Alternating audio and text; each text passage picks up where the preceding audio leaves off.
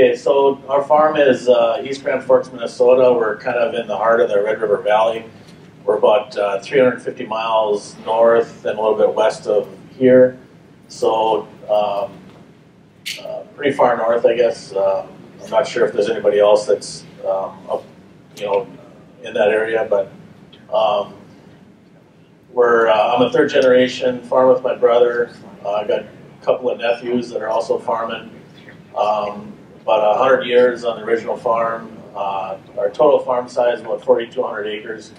We've got 3,000 acres that are farmed organically in 2018, 2,600 certified, and 400 uh, still in transition. Uh, like Gary mentioned, the crops that we grow, um, dry beans is one of the big crops, mostly pinto, some dark red kidney, um, oats, corn, uh, red and yellow potato, um, and then on the conventional side, uh, wheat and soybean, and, and then uh, we use forage peas for cover crops and transitioning.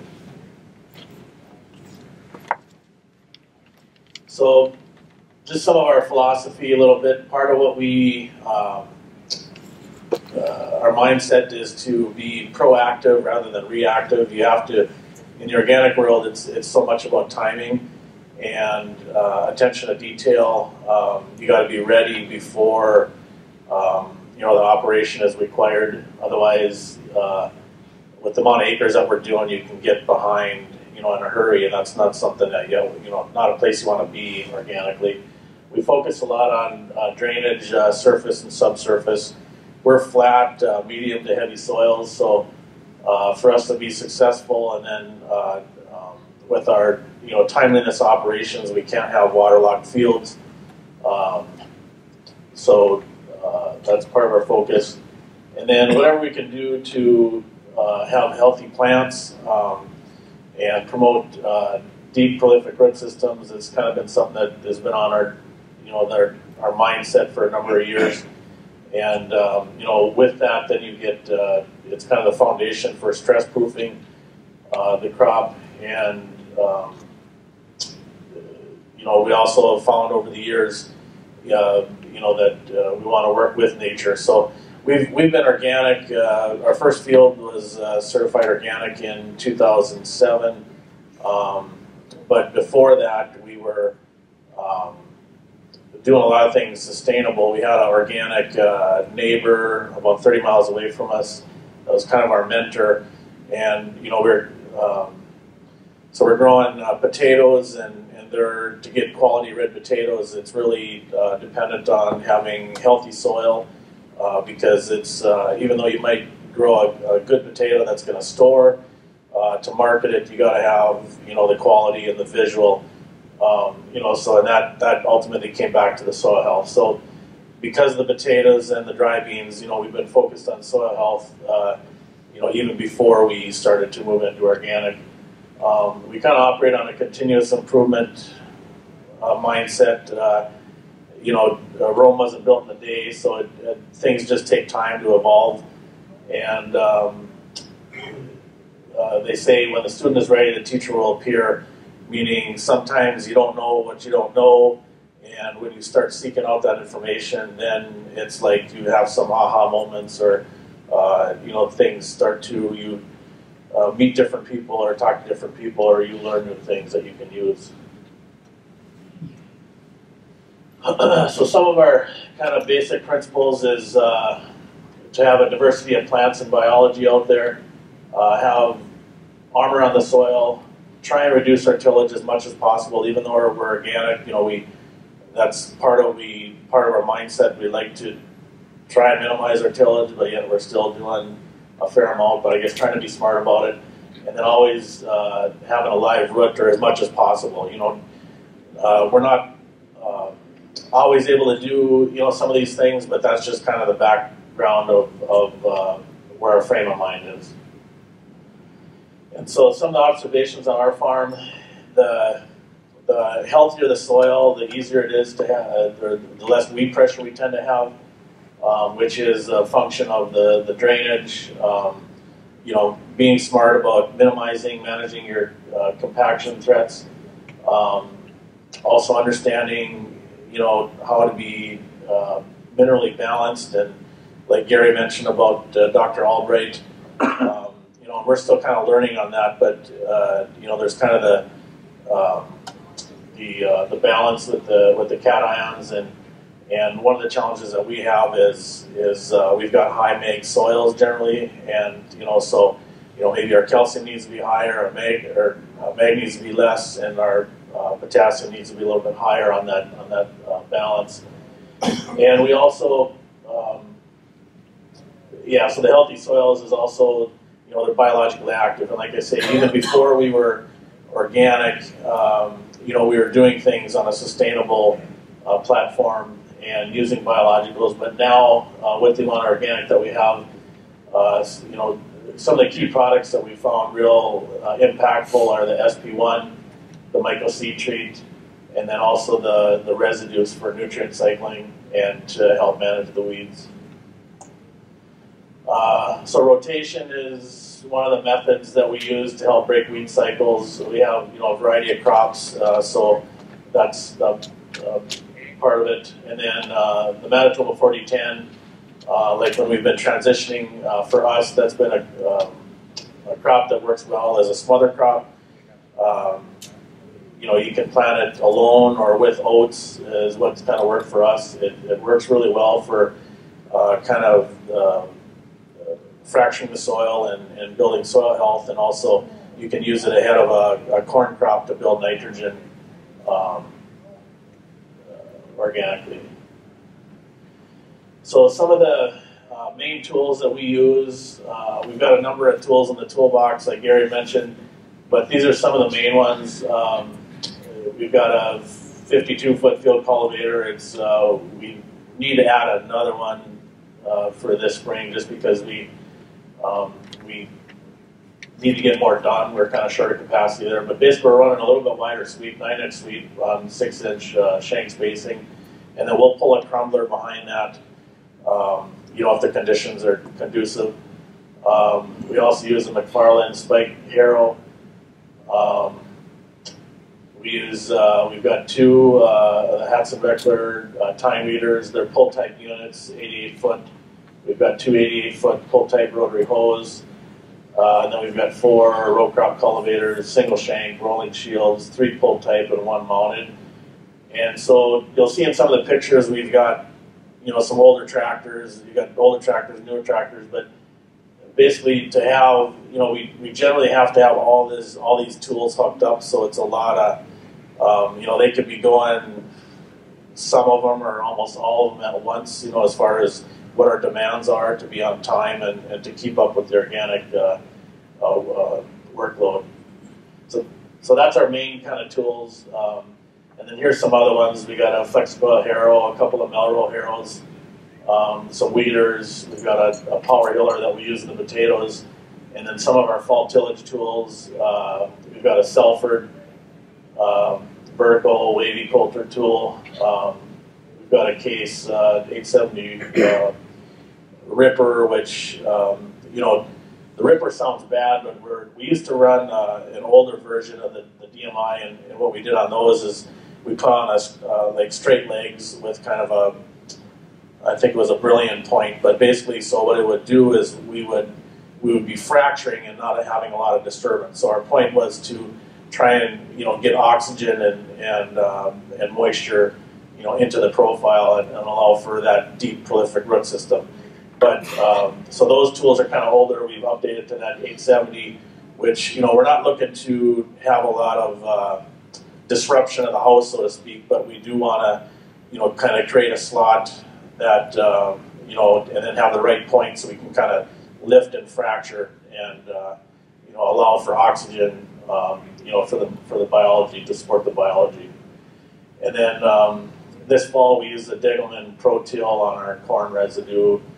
Uh, basically to you know help you know either um, like after the after the case ripper to uh, get that the residue in contact with the soil, um, or when it we were harvesting corn into middle of December, um, I guess early December, um, unfortunately. But uh, so when the ground was froze, then we just ran the Degelman on its own, you know, kind of right after the combine. So that was um, basically uh, getting that residue in contact with the soil for that to start that digestion process.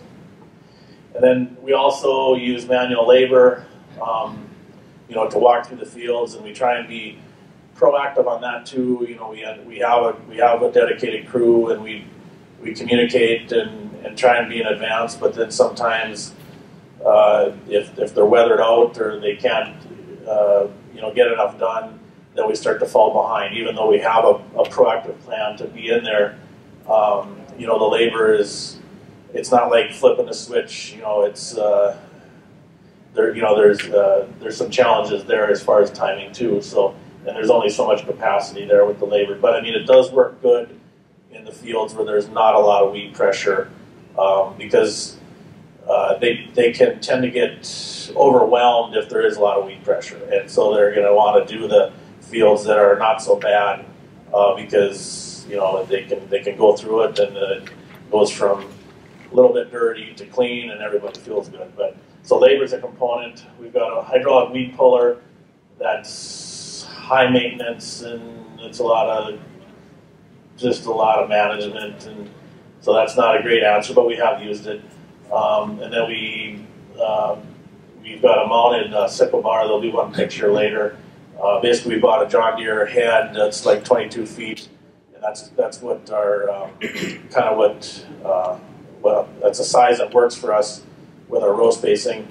And so we took that head and we gutted it and we mounted it on the three point behind the tractor. So then, like in our dry beans, so the corn and the, and the dry beans are kind of our two big organic crops. And the challenge with the dry beans is that um, you know they're not they're not a real competitive crop. And organically, that's what you that's one of the control measures is to have uh, canopy and competition. Well, the dry bean, you know, you're kind of like uh, um, that's that's the big challenge that you don't have that that canopy. So basically, um, we we need some tools to help uh, help us when we have late you know some late season weeds that are growing above the dry bean, and that sickle was one of them that we uh, you know I think it was about three years ago that we set that up, and then we also you know mow our it, it sounds kind of um, not that important, but you know we mow our ditches, mow our tree lines if we have some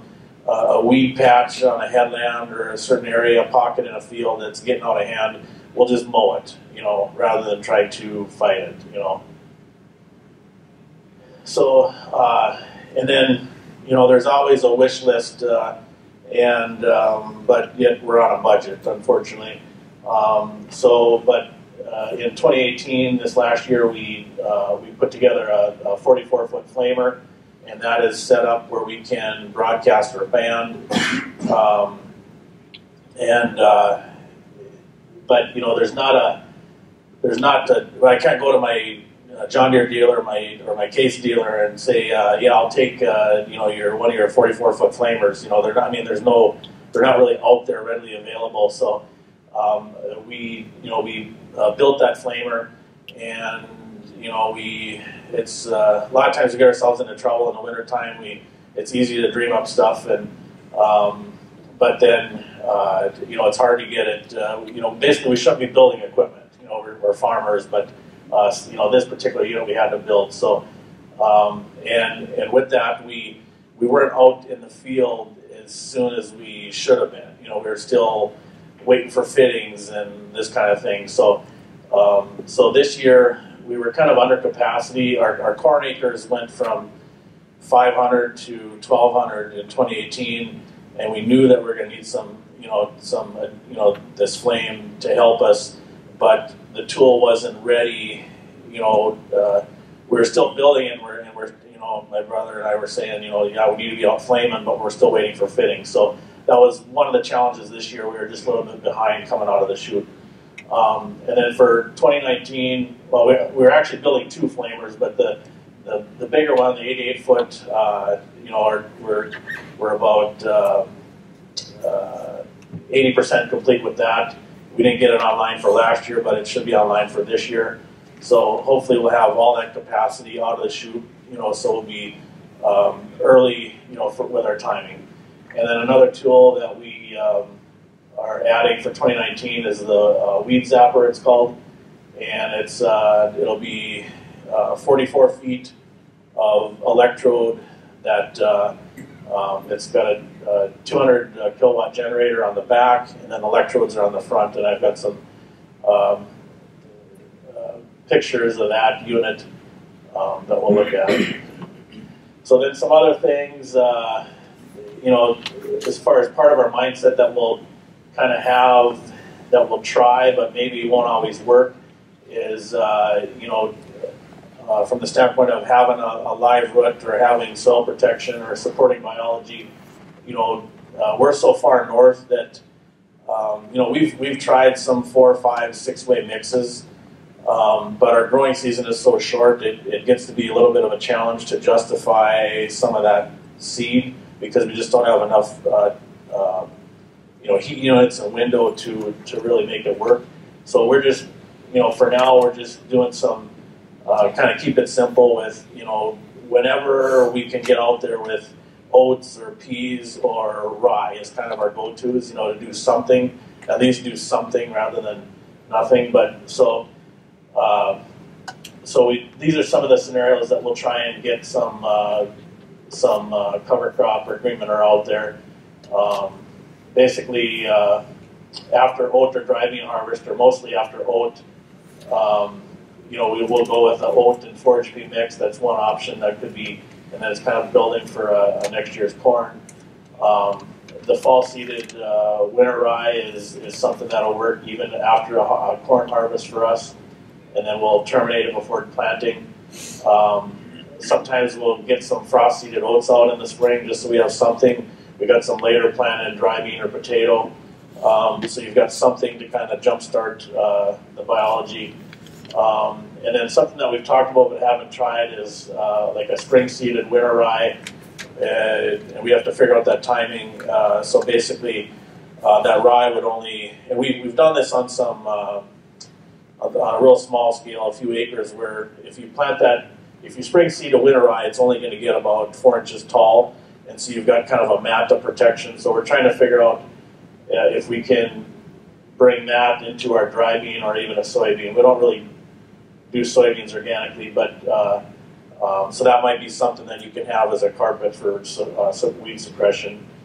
And then um, something else that we've tried uh, is you know some medium red clover under the oats uh, just before the last tine weed. And then you know like what Stan was showing, having some species underseeding the corn. That's something that we'd love to do, but um, not we haven't got there yet. So, so kind of with our our uh, just a, a, generality with our uh, oats, corn, and beans. Uh, you know, if we have some of those uh, so those green manures growing in the spring, whether it's the, the rye that's overwintered and, and growing, um, or some uh, spring seeded uh, oats.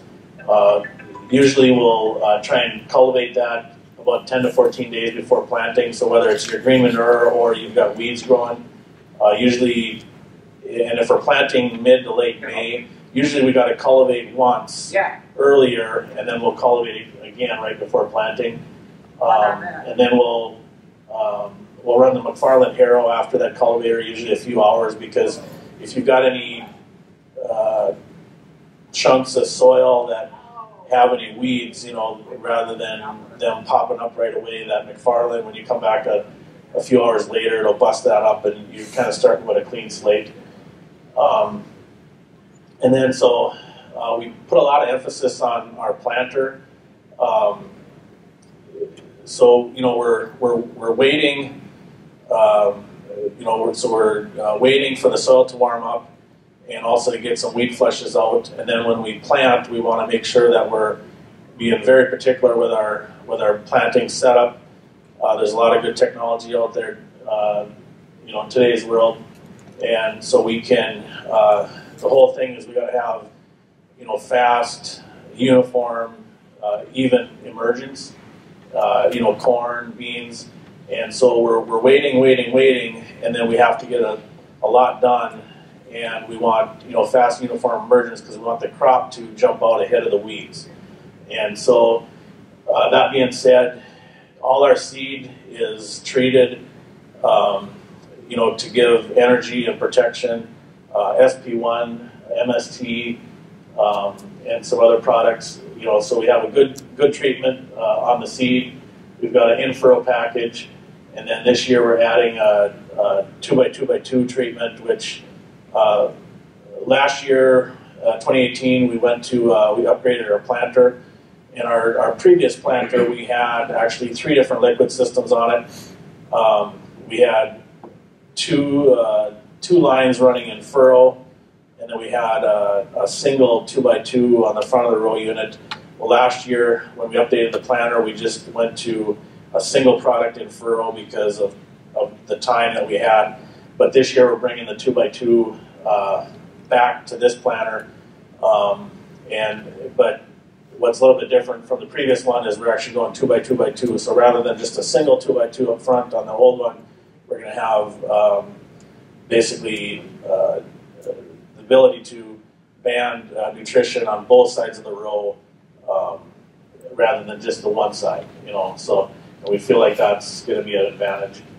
Could you, Um, explain, could you explain two by two by two? What does that mean? So basically, two by two just means that you're two inches to the side and two inches down, and then the other the other two means that we're instead of a single one on the front like we used to be, we're going to have uh, two on the back. So we're basically two inches over and two inches down, you know, in two places rather than just one. And we feel like that balance in nutrition is going to be, um, and it's kind of like what Gary was talking about, how you can do more with less, uh, be more efficient with your um, nutrition dollar, you know. Um, so then, in general, in general, you know, uh, you want to be early and often generally speaking, and that's why we have to have the tools and the capacity and everything kind of hooked. Um, because we don't, you know, this year we were, uh, 2018, we were fortunate. The weather was, for the most part, cooperative, but uh, you know, the windows generally are small, so you got to get in and get out. And um, uh, you know, so we've got uh, the tine weed, the rotary hoe. Um, we use a rotary hoe if we have crusting because again, we want to we don't want to have that crop struggling. Uh, you know, if if, uh, if you have a crusting event, um, you know, rain and then it gets sun, you know, you don't want that crop struggling. You want, uh, and then also uh, if there's, uh, from what I've been told, if there's if you do tend to have a crusting effect, you know, basically you're, you're building your CO2 levels in the soil, and that's, um, you know, supporting uh, weed seed germination.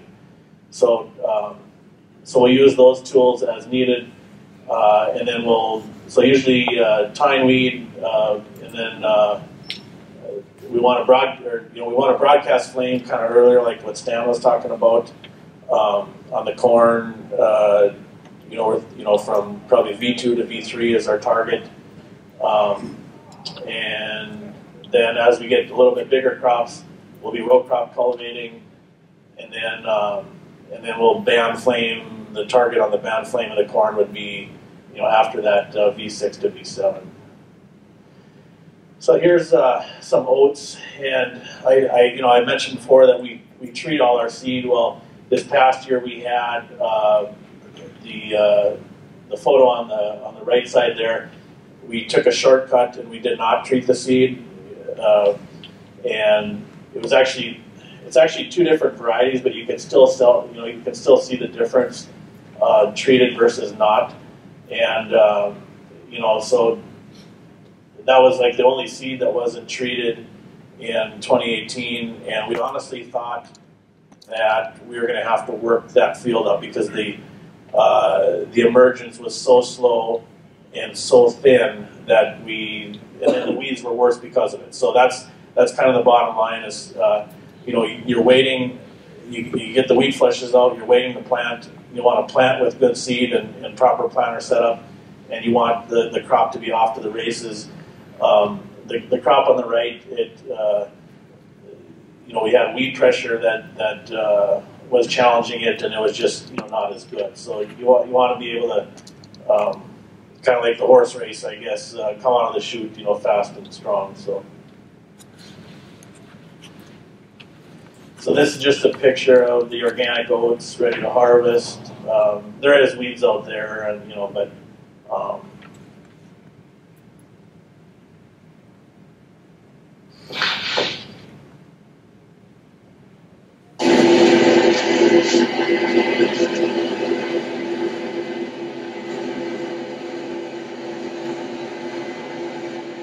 So one thing that you see is that we've got a good canopy, uh, and that's part of the, yeah, we can maybe turn that down.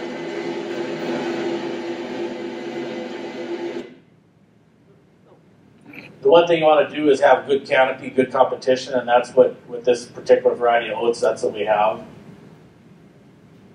And then here we're, um, this is the oats going into the bin, but we're running through a quick clean. There's quite a bit of foxtail, pigeon grass, uh, let's see. Did I turn that on?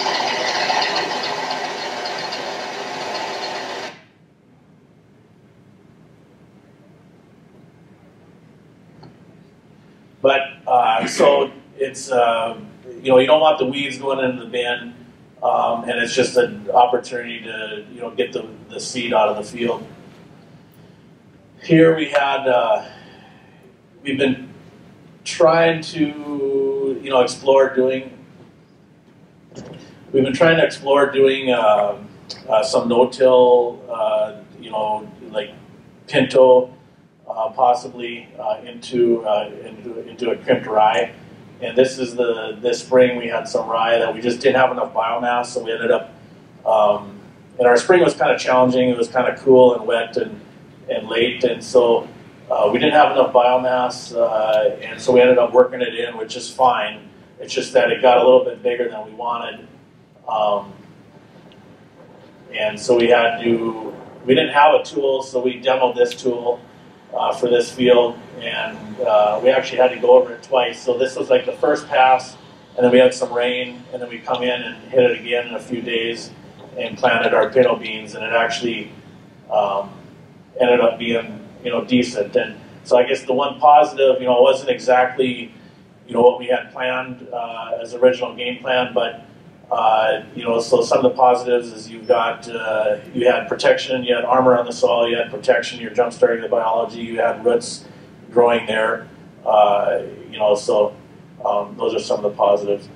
This is a uh, our planter. Uh, this planter was new to us, or it was a new planter last year. It's a John Deere ExactEmerge and that's kind of our, you know, uh, we're really stressing the uh, with the corn and the and the beans, the um, the importance of the the fast, uniform uh, emergence, and um, so we upgraded planters. Uh, but we, like I say, I felt bad that we our planter before actually had a little bit better liquid system, but now for 2019 we're bringing some of that back, so we've got more options.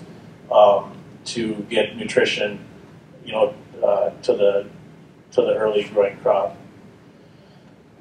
So this is, uh, um, I know Ben will have better pictures of the tine weeder. We most of the time we don't. It's like we could have a uh, one person just taking pictures and video, uh, but uh, usually most of what you're going to see is from the cab. Um, we've got a drone, but unfortunately I'm the only one that uh, can run it, and I'm usually in a tractor. So. Um, but uh, this is a tine weeder, um, 88 foot pull type um, in the pinto bean. Uh, this is the tine weeder in corn. And we were actually, since we were behind on the flamer, and we were, we were you know doing this anyway, but um, you know we were you know we were time you know we'll, we'll tine weed and rotary hoe our corn. Um, because our flamer capacity last year was not where we needed it to be. But you know, this is a very good uh, uh, good option, and I know um, talking with uh, Matt Saddleberg a month ago, he was kind of enlightening me on something that they're doing on their farm that uh, is uh, it's a concept that I like, but again. Uh, you know, our budget is kind of spent for this year, so I don't think we're going to be doing anything. But um, I think uh, uh, Ben will expand on that, but it's it's kind of a good option um, with the camera camera hitch with the tine weeder. So that's more tine weed in the corn. There's tine weed in, uh, I'm not sure if that's kidney or uh, pinto.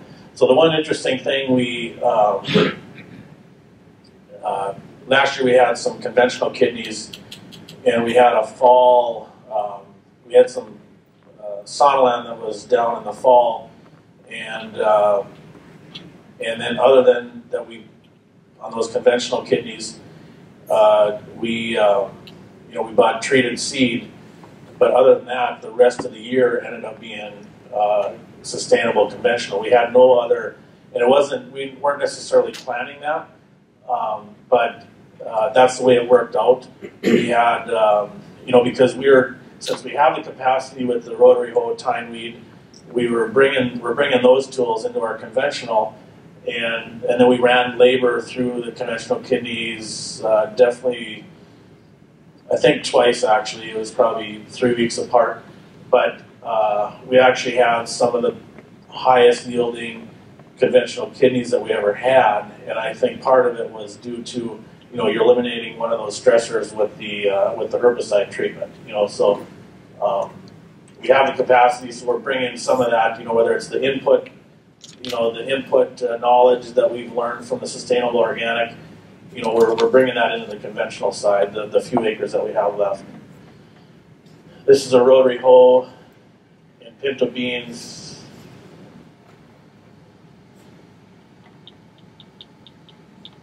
And then we will put, like we've got a, John Deere ATU on the steering wheel, so, um, you know, whether it's for turning around or uh, we essentially have auto steer on these older tractors, which the air conditioning isn't working, but he does have auto steer. He's got the windows open. Um, this is a, another tool. It's a, 88 foot uh, harrow with uh, Melroe harrow sections, which is uh, the tines are spaced a little bit more apart. Uh, this particular field, corn ground the previous year, pintos into corn ground, and so we had a little bit more residue there. Um, but we, uh, you know, so we ran that tool in that situation.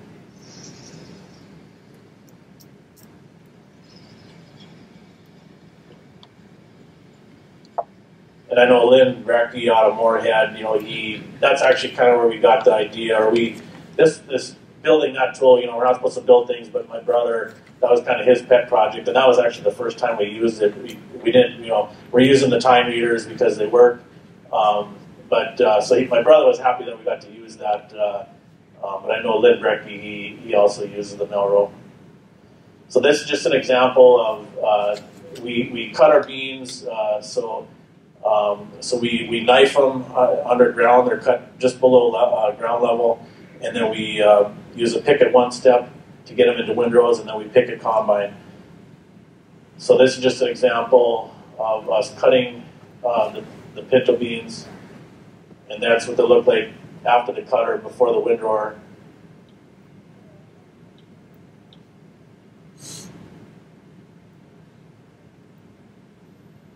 And then here we're combining pintos, and you can see some green, there's some weeds in there. Um, and it yeah, I mean, if you have any issues or any weak links in your in your drive line or that kind of thing, you're going to probably find it at this stage. Um, you know, if, if you have some weed pressure uh, in your windrow, um, uh, you know, so it's not it's uh, it's not as uh, uh, clean and uh, and as as the conventional, but it, it does work. You just got to drive a little bit slower and, and kind of watch your feeding. But uh, yeah, Ben and I were just talking an hour ago about you know burning belts and and you know there's a uh, gearbox that you'll take out, and so you'll find all the weak links uh, um, eventually. And you get you know faster and better at fixing that stuff. So this is uh, harvesting kidney beans, and there's some there's some weeds in the in the in the windrow, but they're kind of dried down. Um, And then so one of our challenges with the dry being a little bit, every, every situation is a little bit different, but on the bottom side, basically when we, when we uh, windrow, we're picking up a double windrow, which is, which is essentially uh, 44 feet is, is the width that we're picking up. So if you have weeds, which we do in the dry beans, um, you know, you're, any of those small weeds are basically going to fall out. There's a shaker pan on the bottom of this combine. So the small weeds are, you're, you're taking 44 feet and then you're kind of concentrating them into a path that uh, basically you're going to have a ribbon down the field of this concentrated um, weed seeds. You know, so that's kind of showing the, the shaker pan. Uh, and it works, the, the Pickett combine works great for getting quality bean, but that's just one of the things. You can kind of see the, um, the, uh, the debris, you know, the weeds or debris, you know, piled up there. Um, and that's not all weeds, it's, uh, you know, bean dust and chaff too. But um, So we tend to have this concentration of weeds that uh, are in, you know, behind that combine. So what we started to do um, to manage that a little bit, it, it, was kind of by, actually by accident, we, uh, you know, rather than, uh, this is a, the Salford uh, 570, it's a wavy coulter vertical tillage. And so what we'll do is we'll actually run this after the Pickett combine uh, to get across the fields quick. You can run 10, 12 mile an hour. And so what that'll do is it kind of, uh, any bean residue, residue that you have, it'll, it'll kind of pin it and level the ground. But it actually, you know, our, our dry beans are harvested in in the September, you know, late August, September, early October. But usually in that August, September timeframe, if we if we combine and then we run this tool, then uh, you've got time for you know some of those weeds, the majority of them, to kind of get compromised. Either they'll germinate or they'll just get compromised with the weather, and the environment. So that's part of managing that weed seed uh, seed bank. And rather than um, uh, you know running a chisel plow where we get it all mixed in, I mean that's fine. But we found kind of by accident that this is a good way to you know with that uh, because we got that concentration behind the combine. You know we're trying to you know figure out how to manage that. It's it's a good way to you know how can we compromise that some of that weed seed bank. And I've even thought uh, I didn't have time, but what I was thinking of too is we've got a smaller flamer that I was thinking of, uh, you know, just flaming, uh, you know, maybe a, in a deal world, I would I would flame right right on that uh, 12 foot uh, pass where the combine went. I'd, I'd flame maybe 10 days to two weeks after the combine went because, you know, to help degrade or um, uh, damage that that seed, and then so, but I, there's not enough hours in a day type of deal, so in theory, that's what I like to do, but uh, um, then we, then we um, but we haven't ever done that yet. But um, then we'll do the residues treatment on top of that, and that um, you know that tends to help too. So that's a, that's the uh, beans in the Pickett uh, hopper tank, and then sometimes if we have a lot of weed pressure, uh, this just shows here it's you know kind of grass and broadleaves, you know uh, we'll leave it out with the windrower because the windrower doesn't uh, play real nice with, with that kind of weed pressure. And then we'll either pick it up direct, um, which you kind of you know got your foot on the clutch type of deal. You got to watch the feeding because um, it gets pretty nasty. And then usually you're usually there's no beans there and it's all weeds, and you're then that's where you're going to break the combine, and then you're wondering why you did that, and and then you're getting dirt in the tank and um, you know, so it's like, well, uh, just don't have the weeds. You know, it'd be better. But um, and then so when you have those weedy areas, then this is what the sample can look like. And so we we've got a male cleaner that we can take out anything big and anything small, but you can see what's remaining is uh, is what the the uh, dirt chunks that are the same similar size to the pinto. So um, you know you've got to have uh, you know uh, better tool to get out, you know, that, that dirt than what we have on the farm. But uh, so that's the other challenge, you know. So if um, if you're not managing your weeds and the dry beans, then you you can't store product like this because you can't get air through it, you can't dry it, you know. So um, it's that's one of the challenges you just got to be aware of. Uh, the grass, weeds, you know, fibrous root. Uh, if you're not severing it with the cutter, um, you know, then you tend to get, uh, or the or the broadleaves, uh, you tend to get that, you know, more dirt in the sample. So kind of the upper right there, that's that uh, John Deere had uh, 22 foot that we, we stripped it out except for the sickle and mount on the back of the tractor. So um, we uh, would use that on, on our dry beans if we had weeds growing above the, the dry bean canopy. We'd use that to kind of make ourselves feel better.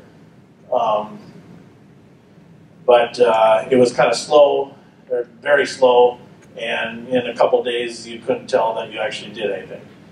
Um, so there's this is uh, weeds growing above the dry bean canopy, and it actually, um, you know, it looks pretty bad, but it's actually not as bad as it looks. So I, I, must be a true organic farmer because I'm saying that it doesn't look as bad as it that it, as it is. Um, but uh, so that's that's one of the challenges. You know, do we run the uh, the sickle to help, or or you know, what can we do? But the problem is we just the, the dry beans just aren't that competitive with the weeds. So this is we actually um, this is a, was a, a, tool that we uh, were planning on using. We uh, brought it home from a neighbor, and we hooked it up, and we actually never used it, and uh, um, just because he wanted us to test it out because he never used it. He bought it at an auction sale, and well, anyway, we um, we never used it. So we, um, and then after talking with, uh, uh, well, kind of Reggie brought it up, and then I was talking with Mark Dudla out of uh, southern Wisconsin, and uh, he was trying one of these uh, weed zapper tools. So this is one of the tools that we're adding for 2019. This is just a company photo, but basically the generator's on the back, the electrodes are on the front. Um, the first electrode is, is actually the high voltage, and then the, the next one behind it is, I believe, the grounding one. I guess uh, I'm not exactly sure on it, but um, and so this is uh, uh, a test field uh, that they did, kind of showing, um, you know, what, what that weed zapper will do. Um, there's giant ragweed. I've heard from other people that works really well on the giant ragweed. Um, it'll work on the grass.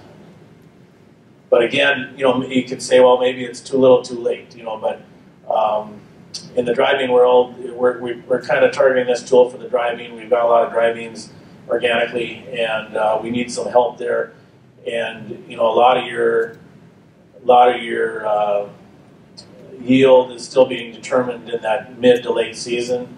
So we don't want to whatever we can do to help uh, um, manage, uh, you know, or reduce competition for sunlight, moisture, nutrients. So this is, uh, and I was, we kind of thought about this tool for a while, and I was talking with Mark and kind of getting his opinion. He he actually used it, and so he sent me a, a couple of videos here. Um, not sure. This isn't dry beans. I'm not sure if it's blacks or pinos or kidney. Uh, kidneys. Okay.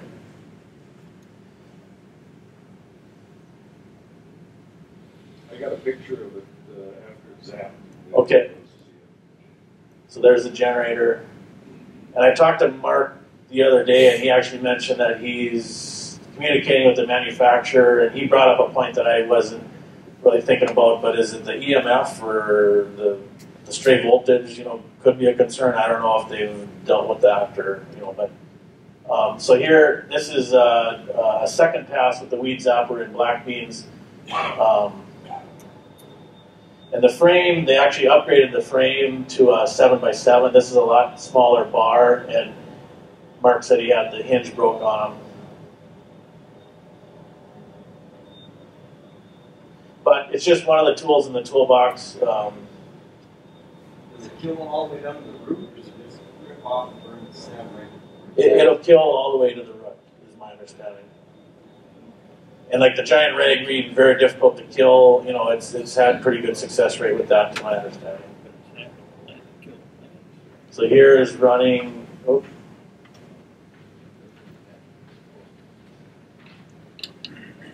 there's running at night. This is from Mark.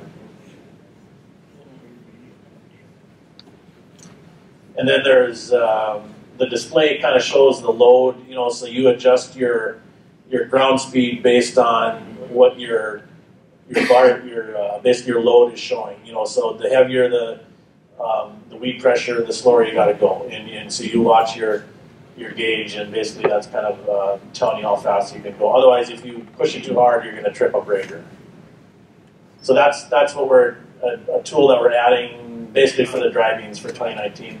This is just another tool that we use in the potatoes. This is actually conventional potatoes, but uh, it works the same in our organic, and it works pretty well because we it's kind of a rototiller that's specific to.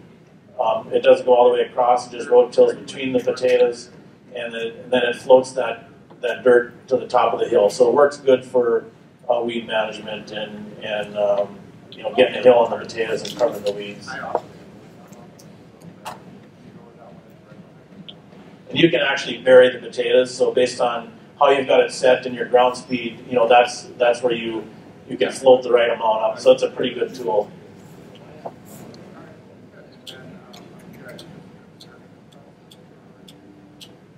What is, is that the dust that we're seeing that's swirling around? Yeah, it was dry, uh, but that's dust. Yeah.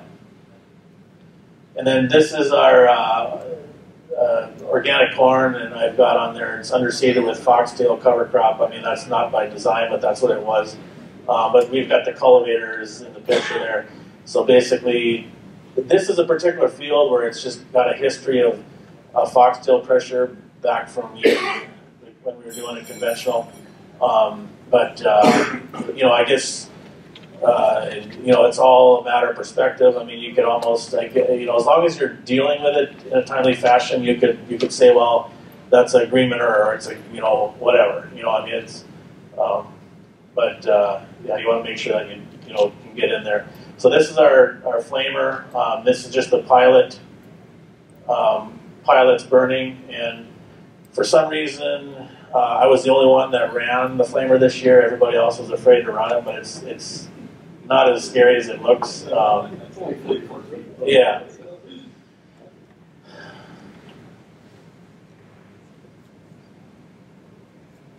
So uh, at this point, we, we already actually um, we missed kind of our broadcast window. So at this point, we got the the burners sent to the base of the plant. So we've got um, flame coming in from each side of the uh, you know shooting the base of the plant. And the weeds, you know, the, the weeds that we see there, they were there, you know, three weeks ago or two weeks ago. You really want to target um, target those weeds when they're like the size of the hair on your arm because you know you can, you know, it's kind of early and often like the tine weeder rotary hoe The best time to get them is when they're small. Same thing with the flamer. Um, but you know, we, we can still get those. Um, and kind of the what they say is if you want to be able to see um, as soon as you go past with the flamer, you want to put your thumb on that the, the leaf of the weed, and if you can see your imprint, then you know that you've got enough heat. You know, it's a combination of um, basically your ground speed and the heat. You know, so yeah, these weeds are bigger than we'd like, but like I say, we were building when we should have been in the field, um, so not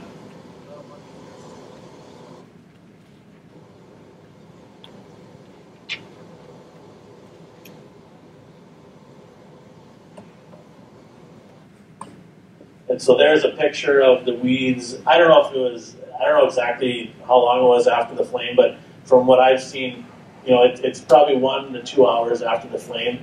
So you can see the corn, you can see the effect on the weeds. I mean, it's it's pretty instant, um, you know, and it's it's kind of fun to see um, when you've got that kind of pressure, and then you can, you know, do something about it.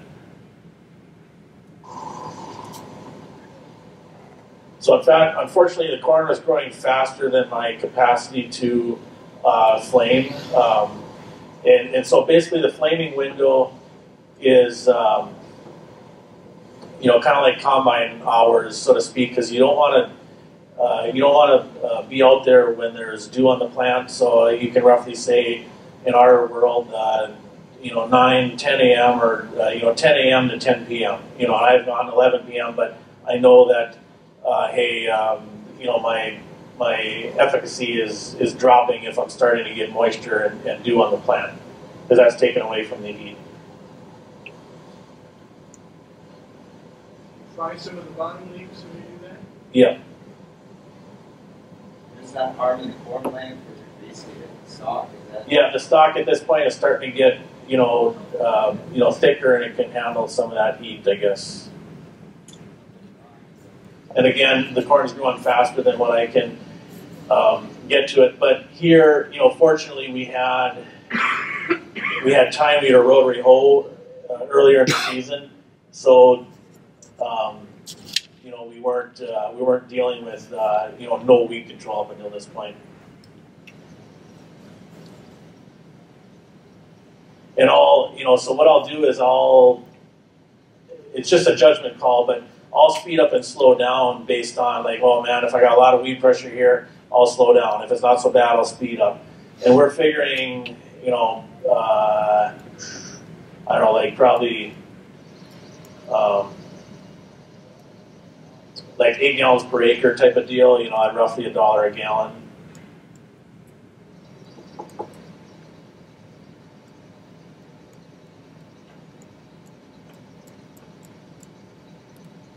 You can see so that the, my, my manifolds are frosted up, so everything's running cool until you get to that burner.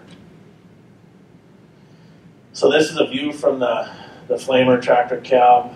Um, and you can see it is having some effect. Like this corn is starting to canopy over, and you've got that much heat, and it, it has, is having a little effect on the corn. But um, and then this is one of the last fields I did. It was, um, you know, the corn was getting pretty big, but uh, we can still get through, you know, taller corn like that.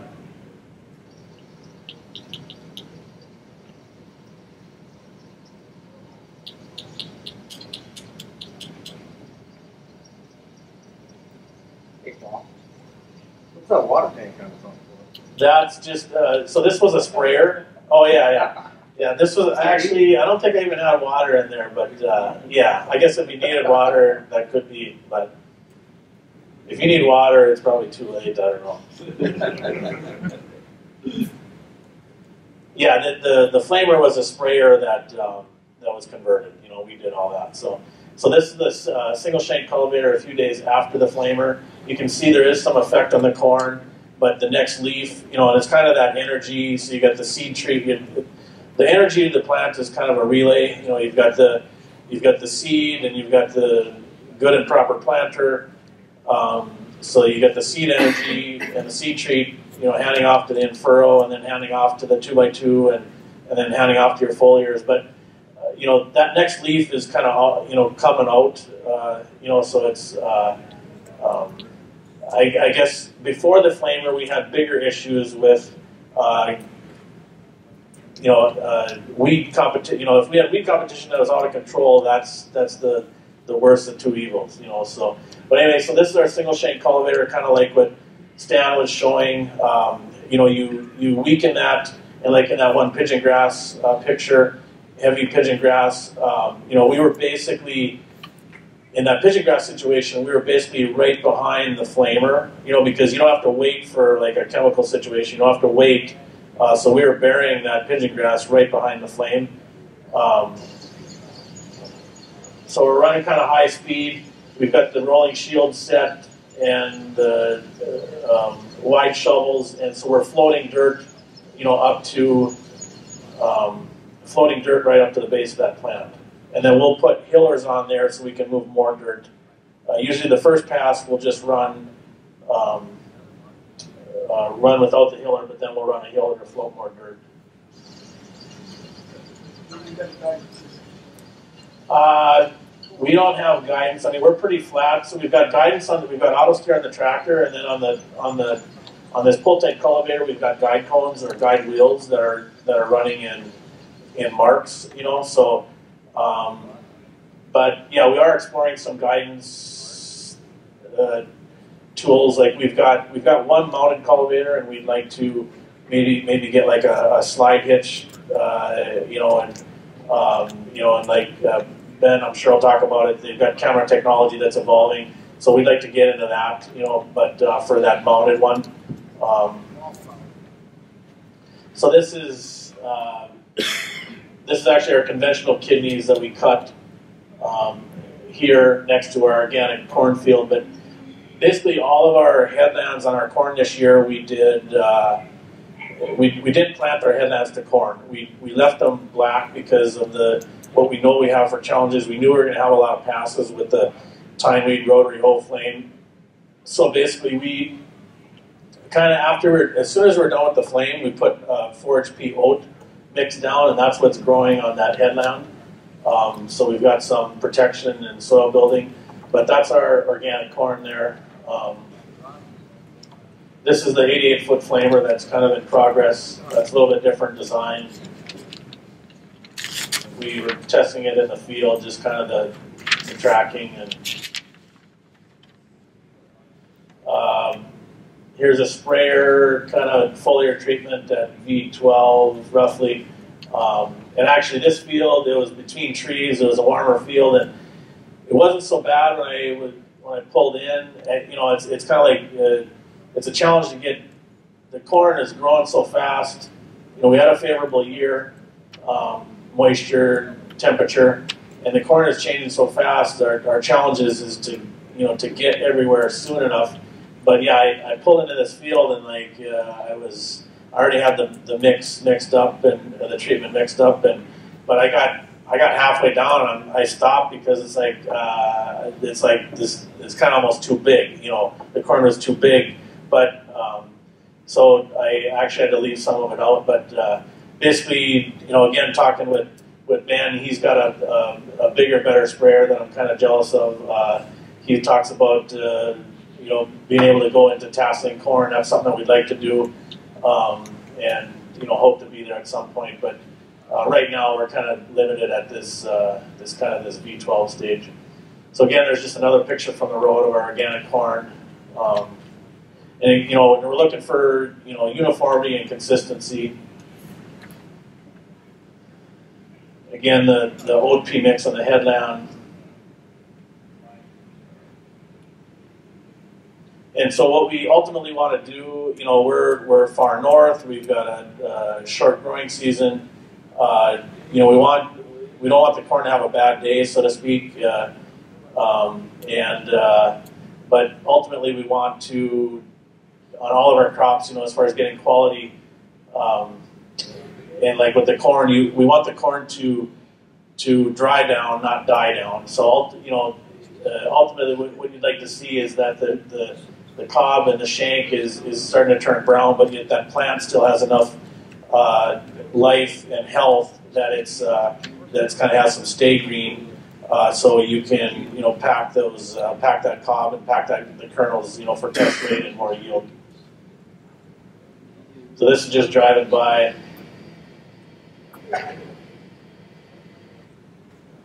There's some cobs. And then here's mowing, it's another option, I guess. There's some 4-HP canopy, 4-HP root. So this just shows like, you know, getting the, you know, whether it's a 4-HP or any crop, but getting that, you know, these peas were treated, but, you know, getting that crop to be at a, um, you know, uh, coming out, out of the gate fast uh, versus the weed. You know, so the weed, you know, tine weed, rotary hoe can take out that emerging weed. There's some nodulation. And then after, this was a couple years ago, but after those peas were taken off, then we, we put some oats down and there was some, some remaining uh, peas on the ground. Uh, so we had an oat pea mix, uh, green manure, that we just let winter terminate, and then we had corn here next year. Um, this is just showing some dry beans that got beat up, you know, with a hail event. And again, uh, you know, this looks pretty bad. Um, but with with the when you have the, the the energy on the seed treat and furrow that kind of thing, these beans actually recovered from this from this stress event. And we were, I think we got. Uh, I think it was a thousand pounds or twelve hundred pounds of, of, pinto beans off this field. You know, we got the soil crusting there. We rotary hoe to get some oxygen, but um, so these pinto beans, which are uh, characteristically not that not that uh, resilient, uh, I feel like it's because of the, some of the treatments and biology that we uh, have in our program that they were able to recover, whereas there was there was conventional soybeans that there was three fields of conventional soybeans around this pinto field that basically didn't survive, you know, and that was, you know, uh, in, in, the chemical world. Uh, so that's that same field. And then, uh, like with our drainage, uh, basically, uh, the impact that it can have, surf, you know, paying attention to surface and subsurface.